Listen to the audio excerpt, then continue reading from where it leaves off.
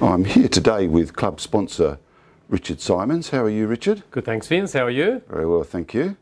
And uh, I hear that you've been very busy lately, and uh, that uh, some congratulations are in order Oh, thank you. for an award you've won recently. Tell us about that. Yeah, so we entered last year and this year in the local business awards for Parramatta region. So there's about six or seven different suburbs in the automotive sector. So any car dealers, mechanics, panel beaters, detailers.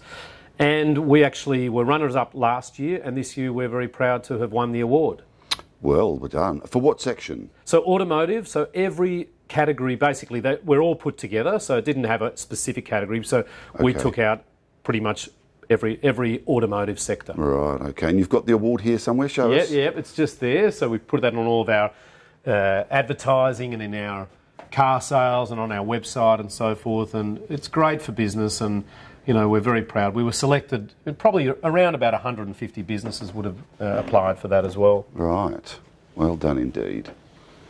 And how has business been for you in these last few months during the uh, height of the COVID uh, season? Yeah, look, a lot of people are spending money on cars, Vince. So either they're taking their superannuation money or they're just having a lot more money lying around because they're not going overseas and they're not spending money on uh, pretty much anything, food and drinks and so forth. They've got a lot of spare cash. So we've been very busy, but it has settled down after the election and now that COVID's settled right down, it has been a bit quieter coming up to the end of the year. Right. So I notice you've got a, a, a lovely complement of uh, cars downstairs and some nice Mercedes too. Yep, So uh, perhaps we could go and have a look at some of those. yep, that'd be great. Look forward to it. Thank you.